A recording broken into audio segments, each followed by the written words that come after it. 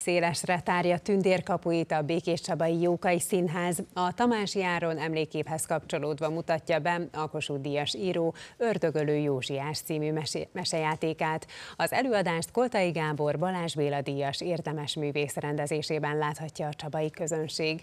A helyszínről Horváth Szabolcs jelentkezik. Szervusz, kellemes délutánt kívánok a nézőknek.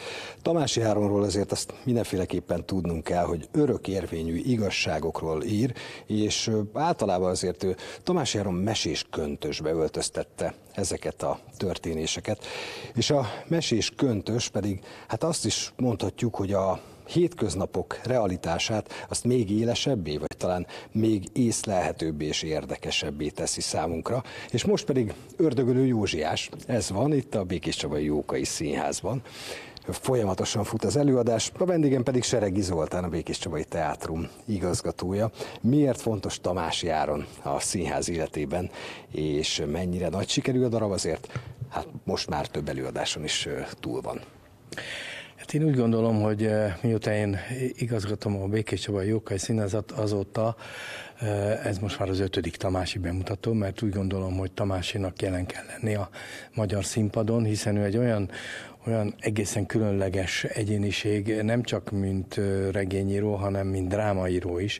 Egy minden darabja teljesen más, más világ, más dramaturgia és most az Ördögölő Józsiással eljutottunk a gyerekekhez is, hiszen eh, most ez az első ö, olyan előadás, ami, ami gyerekeknek szól. Ezzel a Lázár Ervin programban szeretnénk részt venni, és úgy gondolom, hogy akkor még szélesebb gyermekközönséghez jutnak el Tamási Áron csodálatos gondolatai, és ez a fantasztikus nyelvezete, ami, egy, ami, ami szinte lebeg a valóság felett.